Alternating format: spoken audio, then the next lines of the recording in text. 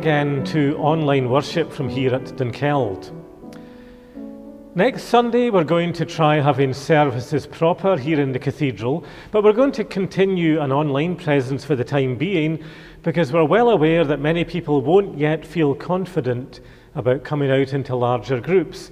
And anyway, with the restrictions there are, we can't accommodate the whole congregation as it is. Over the last wee while here, we've enjoyed some beautiful days, lovely sunny days. But it's very obvious now that autumn is coming. There's a nip in the air, the light is changing, the trees are beginning to turn. And around here, that means glorious autumn colours for a few weeks, because there are so many trees around this part of the world.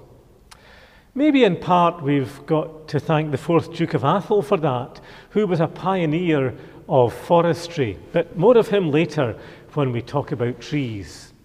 Let's start with some verses from Psalm 104, which glories in creation. Bless the Lord, my soul. Lord my God, you are very great, clothed in majesty and splendor, and enfolded in a robe of light. From your dwelling you water the hills. The earth is enriched by your provision. You make grass grow for the cattle and plants for the use of mortals, producing grain from the earth, food to sustain their strength, wine to gladden the hearts of the people, and oil to make their faces shine. The trees of the Lord flourish, the cedars of Lebanon which he planted. Birds build their nests in them. The stork makes her home in their tops. High hills are the haunt of the mountain goat, and the crags a cover for the rock badger. As long as I live, I shall sing to the Lord. I shall sing psalms to my God all my life long. May my meditation be acceptable to him. Bless the Lord, my soul. Praise the Lord. So let's do that in the words of hymn 149 Let all creation dance.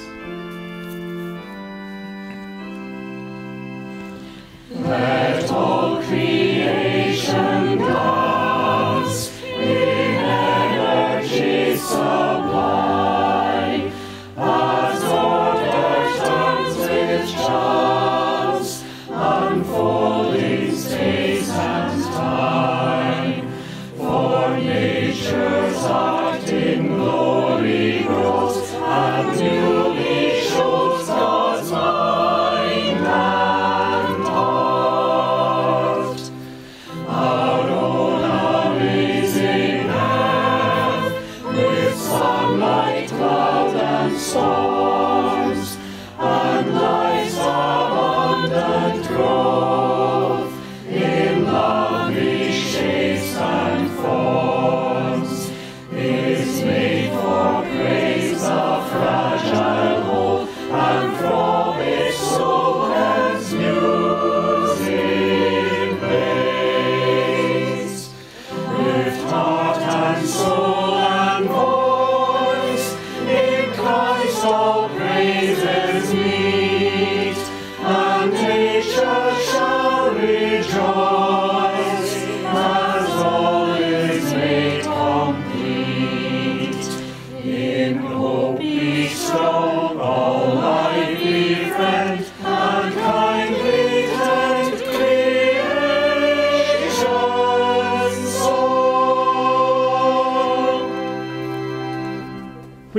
That God made the heavens and the earth, water, sky and land, plants, trees and seeds.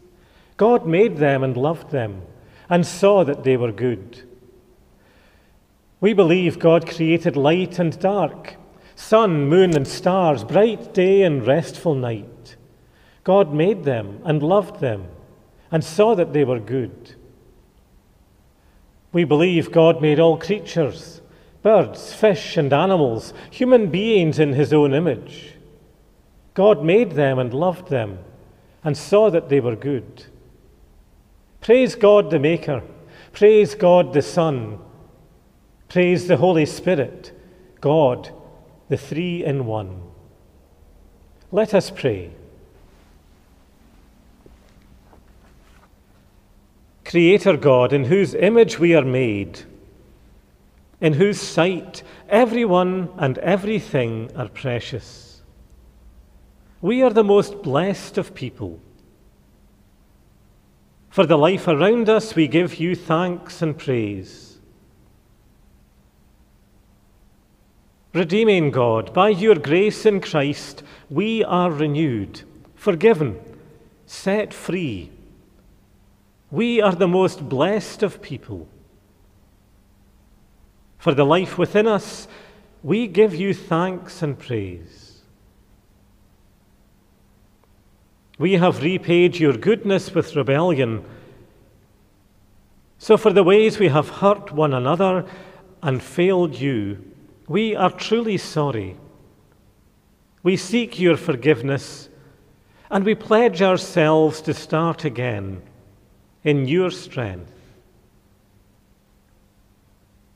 Holy Spirit, sustainer, helper, by you we are led forward out of what we were into what we can be in God's strength.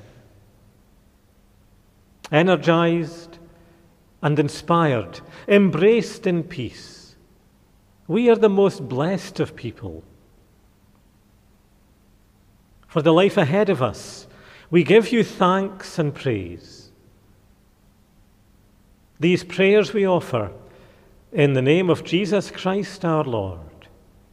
Amen. Perthshire has been branded as Big Tree Country, and around the Dunkeld area are some significant trees.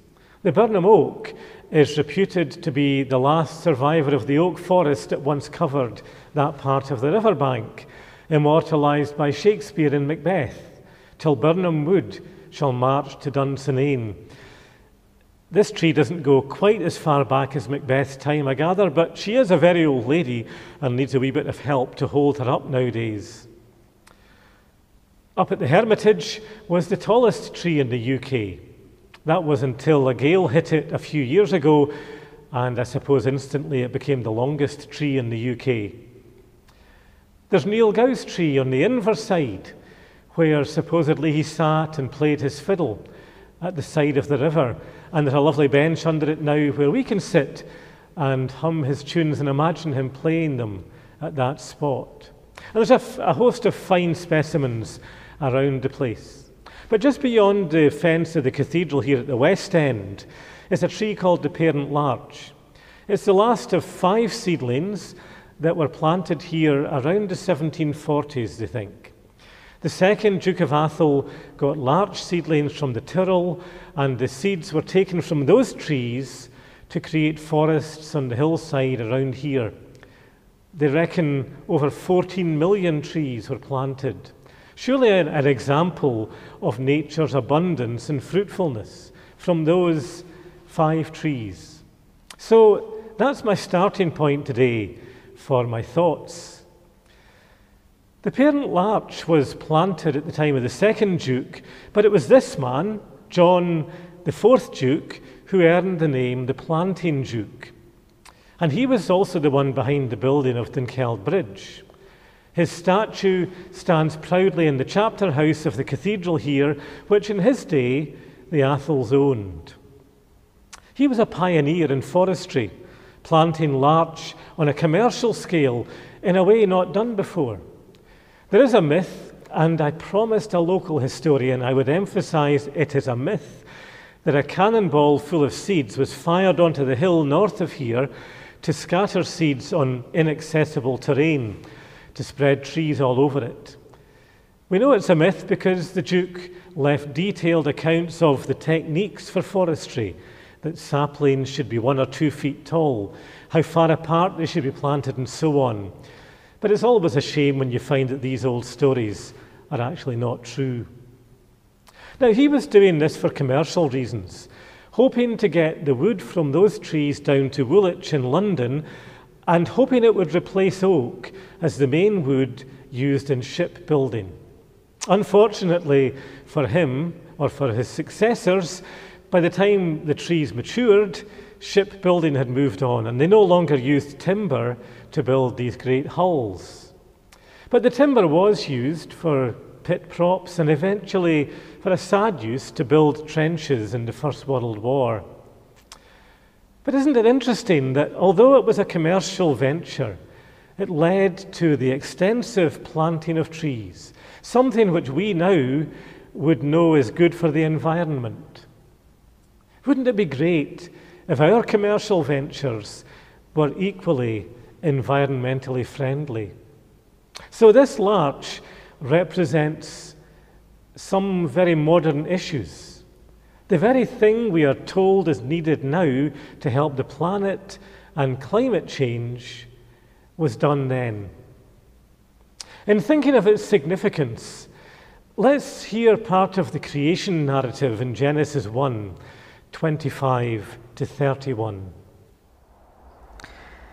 God made wild animals, cattle, and every creeping thing, all according to their various kinds, and he saw that it was good.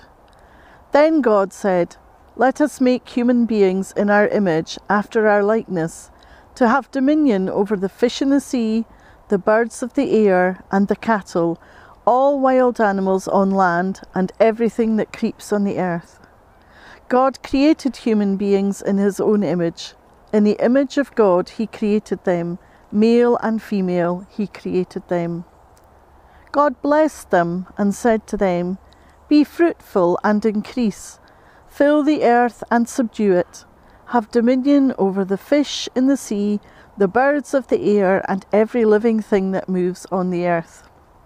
God also said, Throughout the earth I give you all plants that bear seed, and every tree that bears fruit with seed. They shall be yours for food. All green plants I give for food to the wild animals, to the birds of the air, and to everything that creeps on the earth, every living creature. So it was, and God saw all that he had made, and it was very good. Evening came, morning came, the sixth day. From the very start, human beings have had to live in harmony with our environment. And we have always sought to develop and change it. We use resources, we shape the place we live. When this area around here is different from what it would have been in the days when the Birnam Oak was but an acorn. We've always sought to improve our living. There's an old story about uh, a man who was working away in his garden and the minister cycled past and said, Ah, Jock, you, you and the Lord are making a grand job of this garden. To which Jock replied, Well, you should have seen it when the Lord had it to himself. We are commissioned to work the land from Genesis onwards. The trouble arises when our activity becomes destructive, when our commercial interests, unlike the days of the Duke, do harm rather than benefit. The very issues we are grappling with just now. Now, I'm not a scientist, I don't understand the science all behind it, but we hear people like David Attenborough and people we trust saying things are becoming critical, near the point of no return. There was a report in the paper this week about a study done by the World Wildlife Fund highlighting the animals which are threatened with extinction now. And of course, the world of the Bible was very different from our own. Fewer people, less consumption, no industrialization, and so on.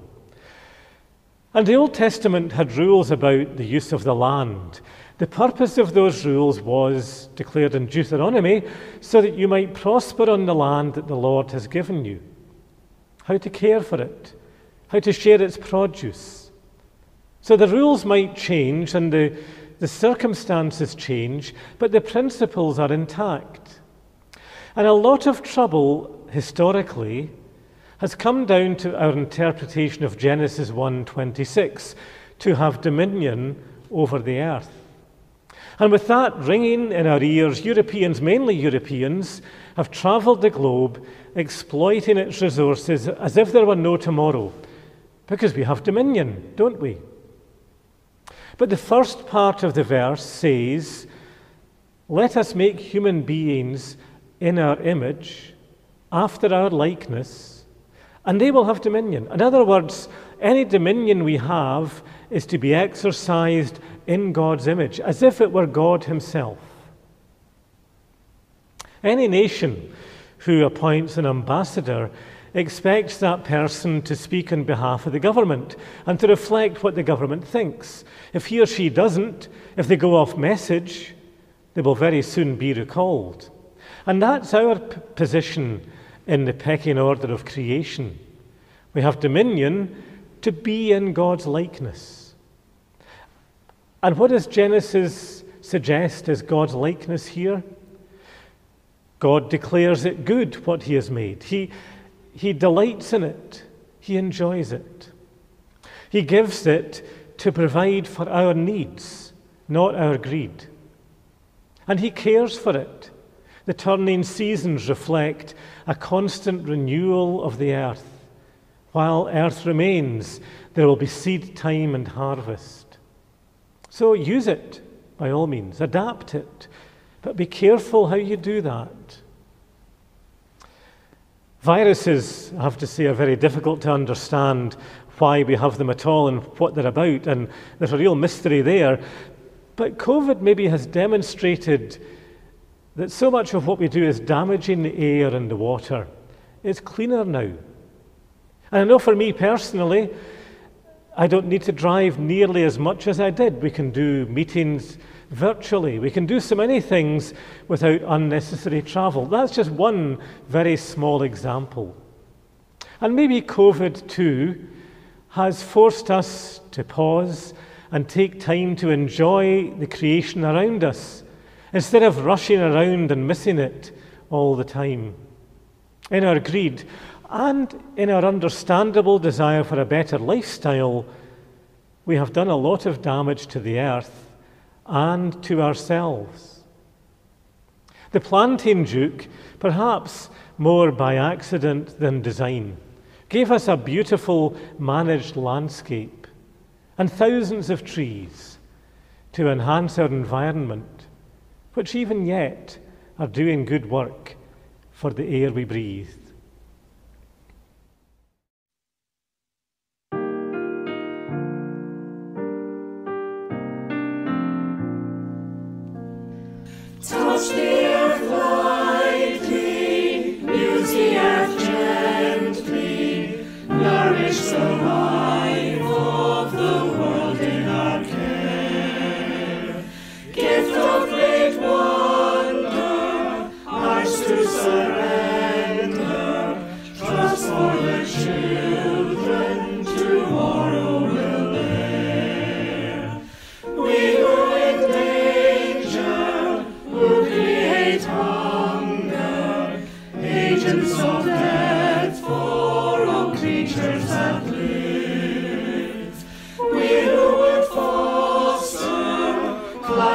Hearing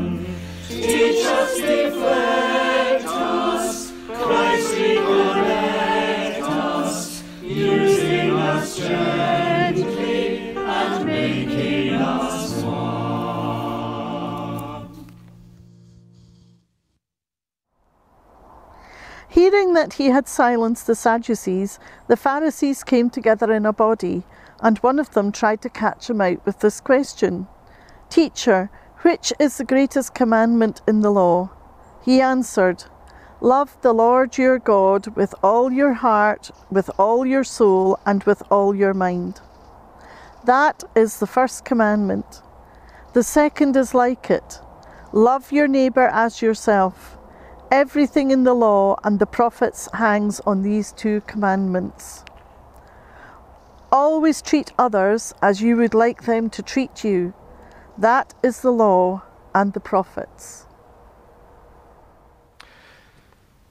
In that hymn we had before the reading, there's a line that says, Christ, reconnect us. And there are different ways we could explore that, I suppose. For one thing, there is a need to reconnect with the earth. I think we all understand that one of the things modern living has done to us is distance us from the land. Food comes pre-packaged from a supermarket, so we don't need to get our hands dirty. And by and large, I suppose we are quite happy with that. But that's why I love the garden and why allotments are good and things like the field and the orchard and the school garden, which are features of life in Dunkeld and Birnam, are so good. They reinforce that connection with the soil that we've lost in so many ways. So, this idea of having dominion is not us over and above the land, but us being put in a position of stewardship and caring for it. A few weeks ago, in one of these services, I was talking about the, the origins of this place and mentioned that in Western Christian thinking, there was often an element of a very negative view of the physical and material in life, as opposed to the spiritual. The spiritual was deemed superior. In fact, it might even be seen that the material would seduce you into wrongdoing and sin. And it's but a short step from that attitude to exploiting the earth for our own ends because it's not spiritual. And we are in the business of soul saving, so we can safely disregard the material. The Celtic founders of this place, however, didn't have that dichotomy between the material and the spiritual. They were from the same hand of the same God. I've mentioned often about Celtic crosses, the circle representing the universe, the created order the cross of Christ. The two are the same God. And so, in Celtic thinking, there was a valuing, a caring for the earth, which was of God's making and which He declared good. Now, go back to Genesis, and it says there in the creation narratives that God took earth and made a man. And in chapter 3, after the fall, it says, Dust you are, and to dust you shall return. Now, there's a fundamental truth there that we are clay vessels. Everything we are as physical beings comes from the earth. So we are made of the earth. And if we poison the earth and the waters, we poison ourselves. It comes back to us eventually. If we destroy a species, we destroy an intrinsic part of life. We know that if bees were to disappear, we would follow pretty soon after it because there would be no means of pollinating plants. It's never been put better than Chief Seattle's words in Washington in 1854 in a speech he made to the president. Tell your children what we have taught our children that the earth is our mother. Whatever befalls the earth befalls the sons and daughters of the earth. If men spit upon the ground, they spit upon themselves. So we need to reconnect with the earth. But there's a need to reconnect to each other through Christ as well. And Christ does this. The environment and the use of resources becomes an, an issue of justice for our neighbours, loving our neighbours. It's a well rehearsed fact that if all of the Earth's population were to consume as much as we do in the West, we would need several planets like the Earth to provide enough. And people look at our lifestyle and think, I'd like some of that, and fair enough. Who can blame them? But they're overlooked, sometimes shoved aside to make way for more exploitation. These are huge issues and there are no easy answers. It touches on issues about waste and pollution, greed, exploitation, fair trade, consumption, empowering people all matters of the Spirit, of the kind of Spirit we are. Perhaps we're inclined to think our focus as Christian people should be the spiritual. It's not for us to worry about the environment and the way we use the earth, that, but that's to ignore the one who made it and who makes us in his likeness with responsibility to steward his gifts. It is to ignore the Christ who died for his world, who commanded us to love God and to love our neighbours as we love ourselves. It's all interlinked. Because when we damage one, we damage all. Love God and love your neighbour as you love yourself. Trees have been used in the Bible to signify different things. There's the tree of the knowledge of good and evil in the Garden of Eden. At the very end, in the book of Revelation, there's the tree of life in the garden there. And in between, there are passages like Psalm 1, which describes the person who abides in the law of God as being like a tree planted beside a river, beside water channels. It's fresh, it's vibrant, it's growing. When we live in His ways of love for God, for neighbour, we find that full life that God intends. There's still so much we get wrong, still so much about life that perplexes us, but we know we are in the hands of a loving Creator who loved us enough to send His Son, who died for us, for His world, that we might have life.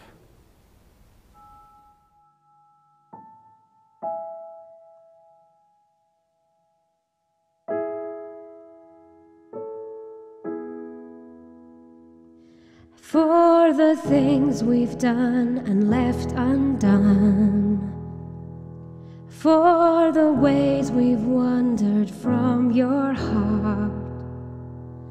Forgive us, we pray. Forgive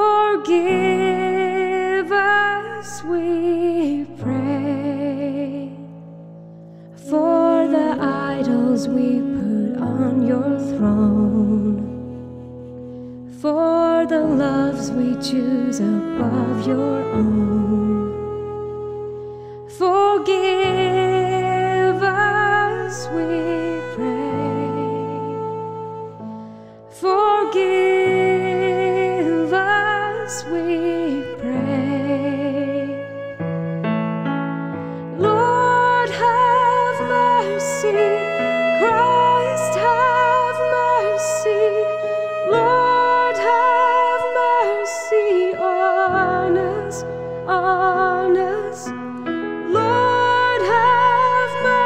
Mercy.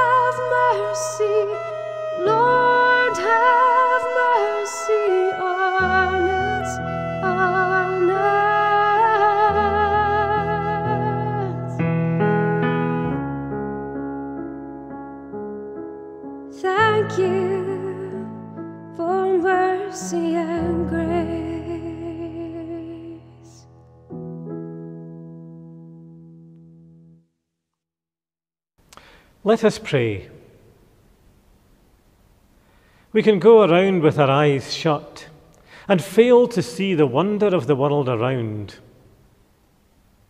Or we can open our eyes and see and rejoice in all you have given us. So we thank you. We can go around with our eyes shut and fail to see the mess we have made of things as a race, the damage done to your creation and to each other, the green places made into desert. Lord, have mercy on us and grant us the grace to change. We can shut our eyes to the suffering and injustice in the world and pretend it has nothing to do with us. Or we can open our eyes to poverty, human rights abuses, the fear many live with daily. For the ones left out and left behind, we pray. Lord, have mercy and open our hearts in compassion to pray and work for your kingdom. But it's hard to shut our eyes to the suffering around us. We know of illness and loss, hurt, unresolved problems and issues. We know the burdens we ourselves carry. Lord, have mercy on us too. Bring your day when the desert will sing and rejoice, when the wounded are healed and the barren places renewed. Hear our prayers as we pray in Jesus' name and in his words Our Father, who art in heaven, hallowed be thy name.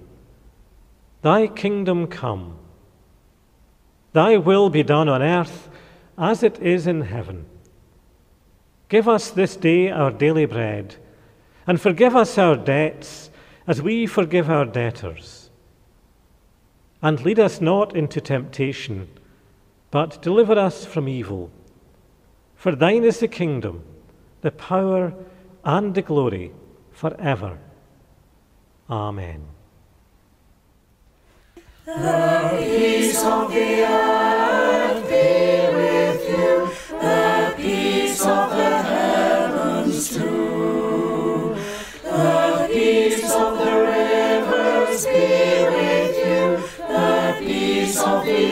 oceans too. Deep peace falling over you. God's peace, in you. And now the peace of God, which passes all understanding, Keep your hearts and minds in the knowledge and love of God, and the blessing of God Almighty, Father, Son, and Holy Spirit be with you all now and forevermore. Amen.